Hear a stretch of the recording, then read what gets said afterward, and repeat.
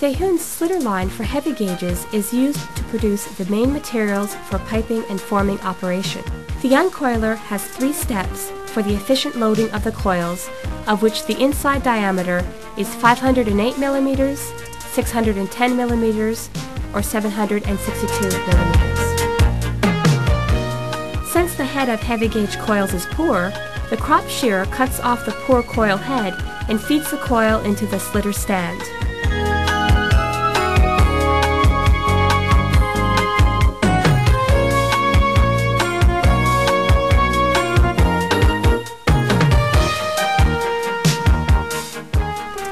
Adjust separator and bridle roll and start rewinding.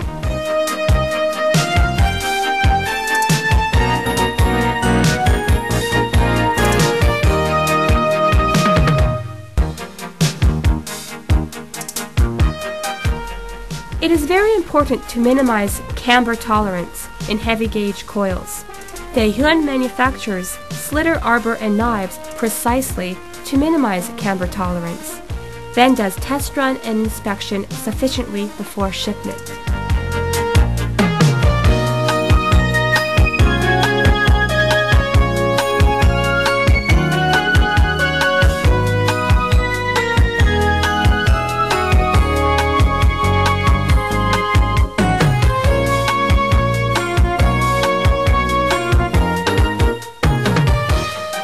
Two sets of scrap winder remove the scraps. Daehyun's slitter line for heavy gauge can be operated at the maximum line speed of 200 meters per minute, and Daehyun designs and manufactures slitter stand for 12.7 millimeters and 16 millimeter thickness coils. The recoiler is designed and manufactured not to cause reel mark inside the coils, and the separator is installed to reduce skelp telescope while rewinding.